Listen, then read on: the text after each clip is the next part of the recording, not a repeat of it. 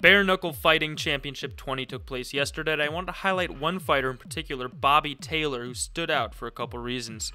First was his opponent, Ronnie Rogers, who, if you believe his shirt, is Trump's favorite bare knuckle fighter, although at the time this video was published, Donald Trump was not available for comment.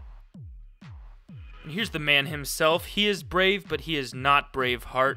Bobby Taylor came in with a bare knuckle record of 2 0 and an extensive history of MMA outside the UFC. Taylor started the fight strong with a counter right hook that led to a flash knockdown. Taylor's opponent got back up, but soon ate another hard right hand that dropped him. And with right hands like these, the technique looked familiar. I knew I had seen it somewhere, and here we have more proof that that might be, in fact, Gerard Butler. And here's the final knockdown a right hook, right uppercut combo that is more effective than a NyQuil for going to sleep. See, after the first hook, he's already basically out. right uppercut just seals the deal. Here he says, Come on, bro, you really had to do me like that? This is Sparta!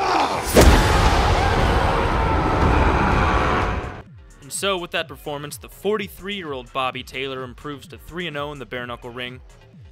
And I don't know, I've never seen Gerard Butler and Bobby Taylor in the same room. Uh, if you have, let me know. I think the jury's still out on that one. This has been another FiteTalk video. Thank you all, and have a great day.